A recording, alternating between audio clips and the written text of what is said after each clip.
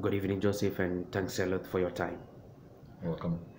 Um, you had a good game against Morocco, and that happened to be your first game in the Africa Cup of Nations for the Black Stars. Um, as a young player who had your first AFCON debut, how will you describe the feeling? Yeah, I, I really, really, uh, first of all, I would thank God for this moment because uh, I was also wishing and waiting for this moment. And unfortunately, it's it's it's here. So uh, with my first uh, playing for the Afcon, with my first game was really, I felt really, really, uh, uh, really good because you know it's every African player dream to to play in Afcon.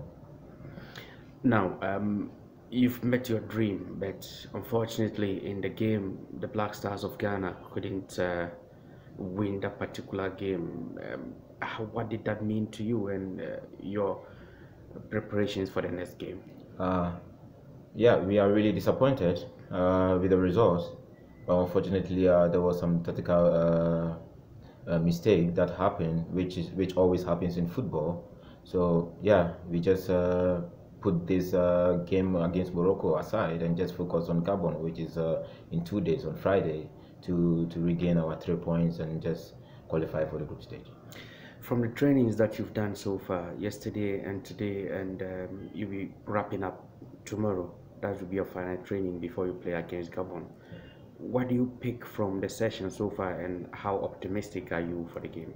Yeah, uh, as you can see with the training, everybody is really prepared mentally, physically, because we are really uh, going all out for this game because it's really important for us, not only us, uh, also the supporters and the Ghanaians uh, back home. And we are really, really prepared to give everything to the Ghanaians so that they can also see the sacrifice we are also making here. And we are really, really mentally prepared to, to take the three points.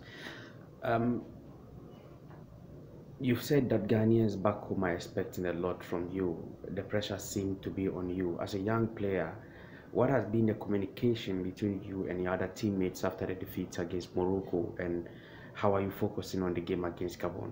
Yeah, yeah, yeah. Uh, I'm really focused, and uh, I think uh, they shouldn't put pressure on me because, uh, yeah, I'm still young, and uh, the pressure needs to come from each and every player to, to you know, to, to showcase what he has and to do everything for the club. For me, as I'm, I'm an individual, I'm just doing what I can to help the club. And yeah, as I said, we are really, really ready for uh, Gabon, which is on Friday, and we are going to do everything possible to have the three points for the Ghana.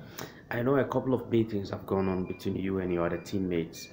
What has been some of the things that you've been discussing, especially ahead of the game against Gabon? Yeah, we, we, we quite have a few uh, meetings, and the meeting was just to be uh, uh, yeah to be ready mentally and to, to fight all out because we, we, we, we have to and we need to you know have a three point in this game because uh, it really means a lot for us also.